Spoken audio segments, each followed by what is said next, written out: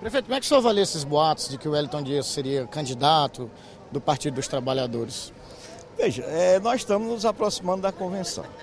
Né? E a realidade é que nós já temos essa parceria administrativa com o PT, que está dando certo.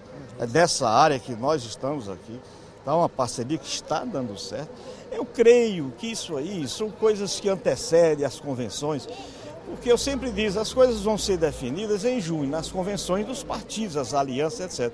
Eu espero que, que encontremos o partido onde está discutindo internamente, há uma tendência majoritária que, que optou pela é, vitoriosa, pela aliança, né? e há uma outra ainda, que estimulado por outros partidos, etc., e outros interesses que visam, quer dizer, objetivo lançar o governador Wellington fez uma grande, um grande governo, é uma grande liderança no Estado, em Teresina e dentro do Partido dos Trabalhadores, tentando viabilizar essa candidatura dele. É Mas, não, talvez, não sei.